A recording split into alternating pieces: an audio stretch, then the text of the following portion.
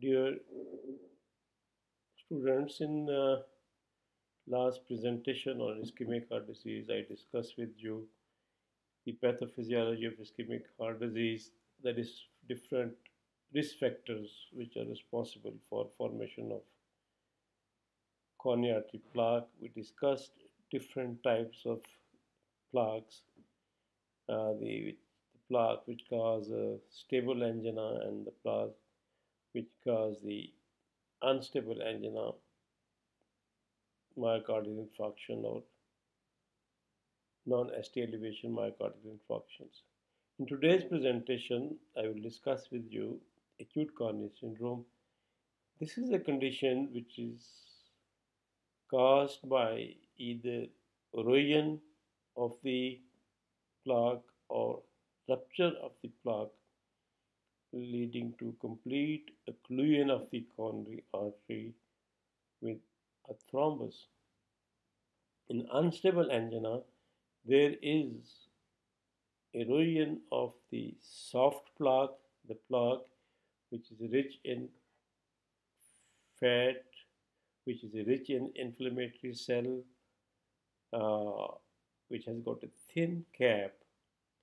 And uh, if this thin cap erodes, then platelet starts depositing on the surface of the plaque.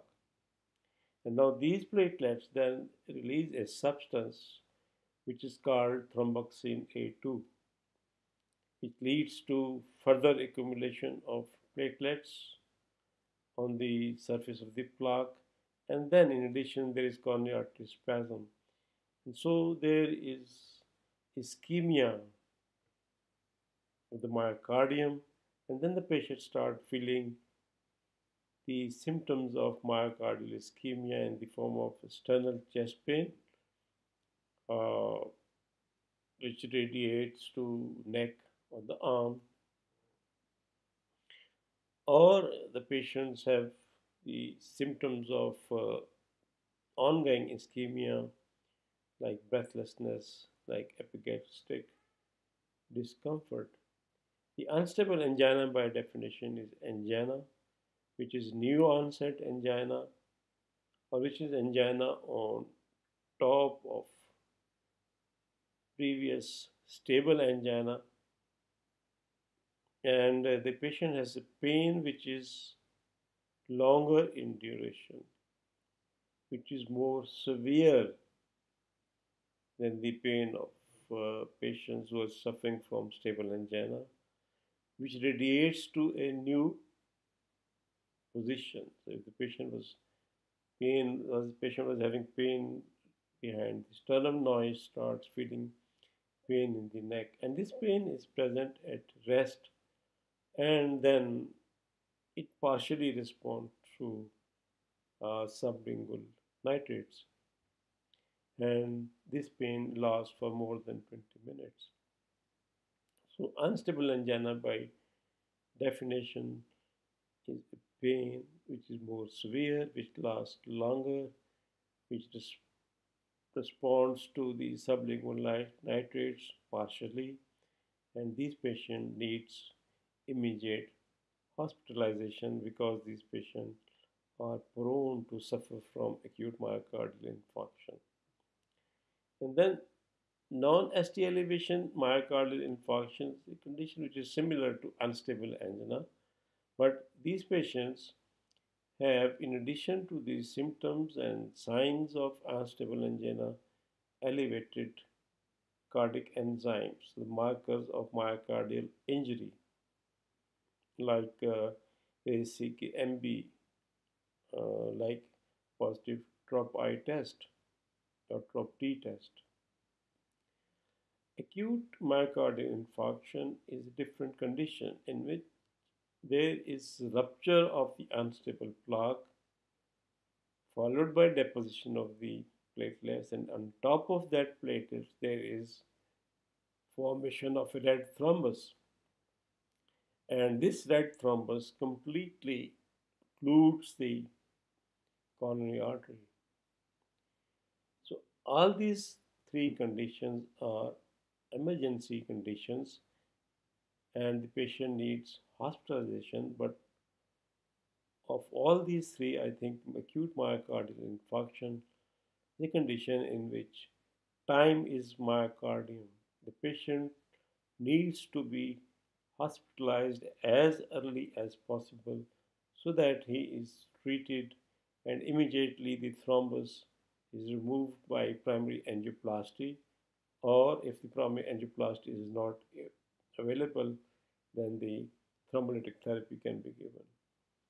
So if the patient has a severe chest pain which is, which is longer, which is unusual and which remains for uh, more than 20 minutes, he should always call ambulance and he should be shifted to the hospital for treatment. So this is the three different conditions which falls under the category of acute coronary syndrome. So this is the schematic diagram on the left side. You see the artery is partially occluded. There is plaque erosions and there is platelet thrombus. And on the right side, there is complete occlusion of the coronary artery by a thrombus, which in this picture is yellow, but actually it's a red thrombus. This is just a schematic diagram. So on the right side of the uh, of your uh, picture, you can see that the coronary artery is completely occluded. This is an emergency situation which needs immediately uh, immediate hospitalization and immediate treatment. So by definition, unstable angina is a new onset angina or angina on top of stable angina. In these patients, the pain is present at rest or minimal exertion. Remember, the angina, which was stable angina in patients, uh, which I discussed with you, the patient was feeling pain on exertion, so on demands like climbing upstairs, running, jogging. Uh, but in unstable angina, the pain is present on minimal exertion, like good going to the bathroom, at rest, uh, angina after meals, angina on lying flat, which we call it angina decubitus, is the chest pain of the patient lying flat, or the patient feels uh, chest pain after meals, which call its postprandial angina. All these conditions they put load on the my, on the myocardium, they increase myocardial demand, and uh, the patient feels chest pain. The pain is more severe. It lasts longer, more than 10 minutes, it lasts say up 20 minutes. And then there is radiation to a new site. So if the patient was having chest pain uh, only behind the sternum, now he starts feeling pain to left arm, radiation or radiation to the neck, or radiation to both arms, to say that this patient is now unstable. Then there are angina equivalents. You must remember angina equivalents, particularly in diabetic populations and elderly patients. They present with you with uh, unusual symptoms like uh, fatigue, like breathlessness on walking, like dyspepsia, and they you find that they, they feel uh, no pain at all. These are the atypical presentations and uh, you must keep in mind angina equivalents and you must treat these patients uh, as a case of unstable angina.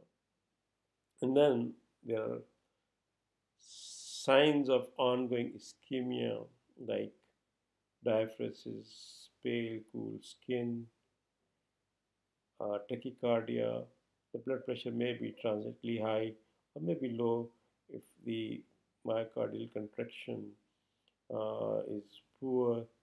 And then there are transient basal crepitations, transient uh, gallop in the form of S3 or S4, or a transient murmur, which disappears once the ischemia is over. So these are the signs of ongoing myocardial ischemia.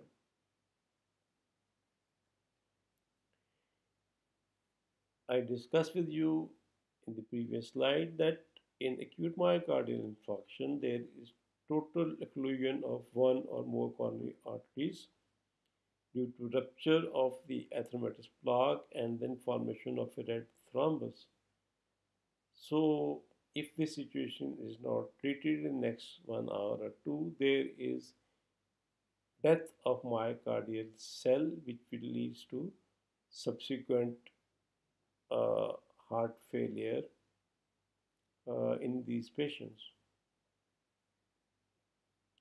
These patients with acute myocardial infarction, like the patient with uh, unstable angina, the feel external chest pain and they will use the word like that somebody is sitting on the chest, there is pressure on the head, chest, the sense of constriction around the chest. They clenches their uh, fist in front of the sternum. This is a very important sign of ischemia. And then there is signs of squeezing of neck, the symptom that they feel that there is somebody is constricting their neck, sense of suffocation. Now, in patient with myocardial infarction, the chest pain lasts for more than 30 minutes and it is not relieved by sublingual nitrates. The pain is only relieved once the artery is opened up. Otherwise, the patient will continue to suffer from chest pain. They suffer from breathlessness, confusion if there is falling blood pressure and there is uh, poor cerebral perfusion, or they suffer from uh, peripheral embolism. This happens in the later stages of myocardial infarction, say once there is a formation of thrombus in the left ventricle. They present to you with stroke. You examine this patient and you see that there is tachycardia, the blood pressure may be low, the patient may be in cardiogenic shock, and by definition, the cardiogenic shock is low blood pressure and there is cerebral confusion. The patient is confused because of low cerebral perfusion and then there is also oliguria and the respiratory rate may be high. And then there may be gallop sound heart murmurs because of rupture of the uh, interventricular septum or the rupture of the papillary muscles and then on auscultation of the chest there may be crepitations, which is a sign of left ventricular failure. So the patient with myocardial infarction can present to you with chest pain or with complications of myocardial infarction. They may die suddenly while at home and the commonest cause the commonest cause of death, sudden death is arrhythmia, which is ventricular fibrillation. So, and this ventricular fibrillation occurs in the early hours, uh, in the early portion of the myocardial infarctions, in the early hours of myocardial ischemia, and uh, then this breathlessness due to pump failure, confusion due to cardiogenic shock, peripheral embolism because of thrombus formation in the left ventricle, and again the heart murmurs due to the rupture of interventricular septum. So they present with chest pain or with complications of myocardial infarction.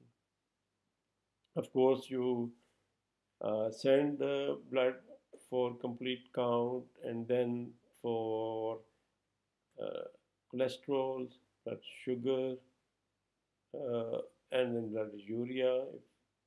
If, if the patient is diabetic and you want to rule out uh, kidney disease, and then you also order the serum cardiac biomarkers uh, which I already discussed with you the TROP-T, TROP-I and CKMB.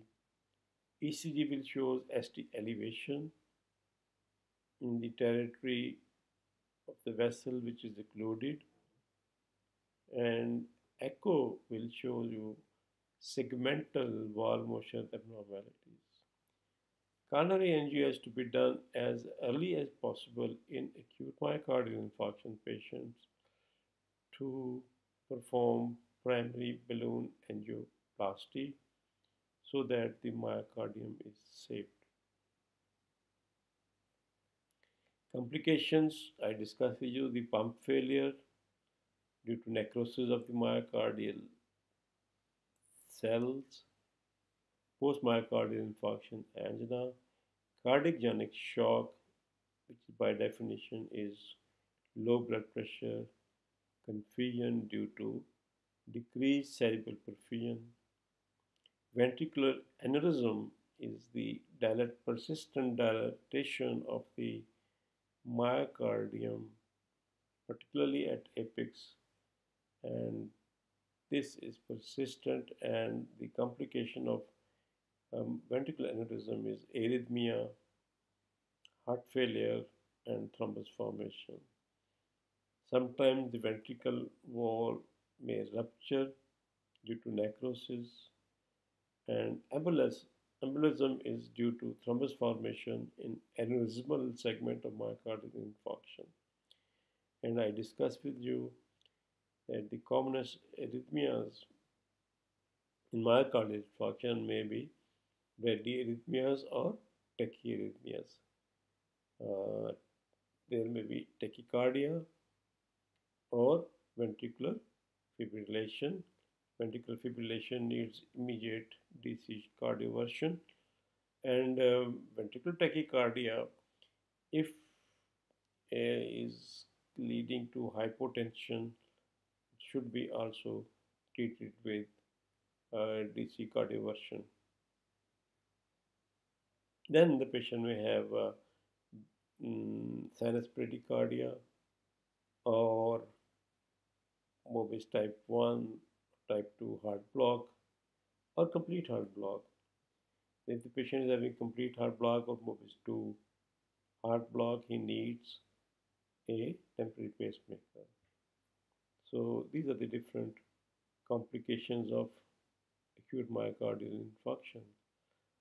Uh, you see on the right side of the picture there is the red uh, red red portion you can see there is complete necrosis and then see on the right side there is ST elevation but if the ischemia is only in the subendocardial part of the myocardium then there will be ST depression so you can have inpatient with acute myocardial infarction, the evidence of ST elevation as well as ST depression.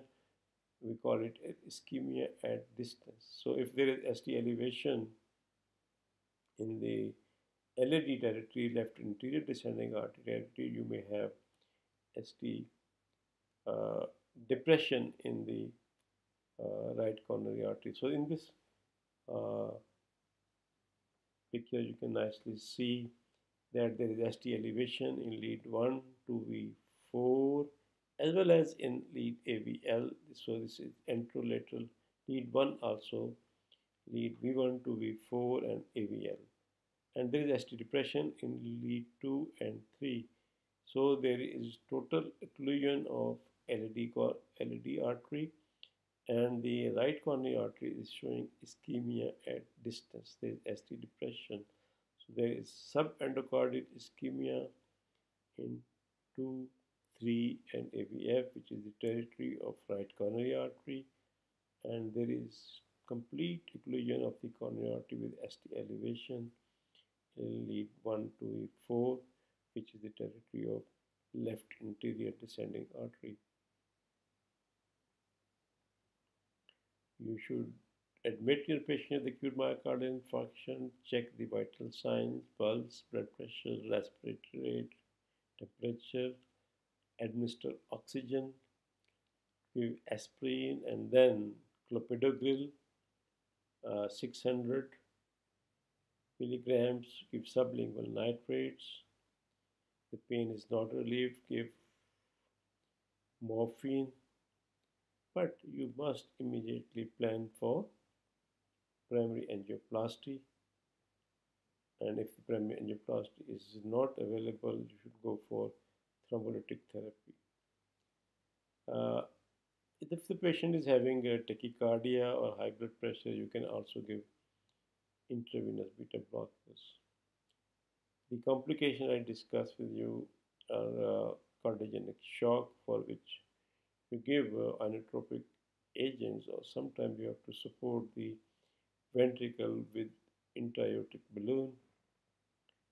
Uh, for pulmonary edema, you have to give furosemides immediately uh, intravenously uh, in high dosage.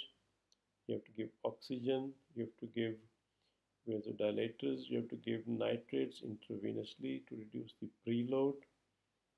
And uh, sometimes you have to go for endotracheal intubation and uh, you have to put your patient on ventilators in acute pulmonary edema and cardiogenic shock. So I have discussed with you balloon angioplasty and uh, sometimes if the, there is diffuse disease or multiple vessels involved, the patient is not fit for coronary angioplasty. The patient is having left main coronary artery blockage or multiple vessel involvement, then go for coronary artery bypass grafting. This is how you perform percutaneous coronary intervention. You put in a catheter and then you a balloon across the narrow segment, you dilate it, then put in a stent. This is balloon inflated across the atheromatous plaque. In coronary artery bypass grafting, you implant uh, the venous grafts as you see on the right side of the picture between aorta and right coronary artery or you go for an arterial graft uh, the left anterior mammary artery implanting into the LAD left anterior descending artery. The arterial grafts they last longer. Whereas the venous graft because of slow circulation may close in the subsequent 5 to 10 years. Again, after angioplasty, stenting, or coronary artery bypass grafting, all your patients should be on aspirin, beta blockers because it has been shown that the patients with acute myocardial infarction, the prescription of beta blockers reduces subsequent mortality. And then if he is in heart failure, it should be on diuretics, ACE inhibitors, because again, in patients with acute myocardial infarction and heart failure, the ACE inhibitor prescription reduces cardiovascular mortality and morbidity. Then the other new drug, which is ivabradine, in patients with heart failure, have subsequently it has been seen that it reduces hospital recurrent uh, hospitalization and reduction of mortality um, due to heart failure. So thank you very much. This is all about ischemic heart disease and in the next presentation uh, I will be discussing with you hypertension and then thereafter heart failure. Thank you very much.